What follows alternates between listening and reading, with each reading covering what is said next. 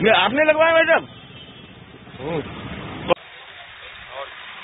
लखनऊ के बाद अब ताजनगरी में भी योगी को पीएम बनाने के लिए नवनिर्माण सेना ने अपने प्रयास चालू कर दिए हैं।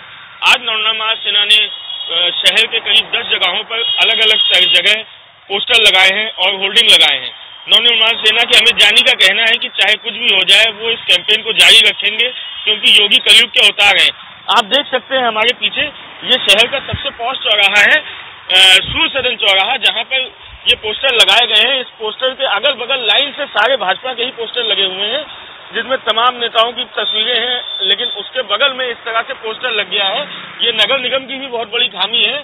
फ़िलहाल नगर निगम के अधिकारियों का कहना है, ये एजेंसी द्वारा पैसे जमा कराने की वजह से ऐसा हुआ है। फ़िलहाल देखते हैं, अब लखनऊ के में मुकदमा दर्ज होने के बाद आगरा में इस पर क्या कार्रवाई होती है। आगरा से ईटीवी भारत के लिए अविनाश जायसवाल।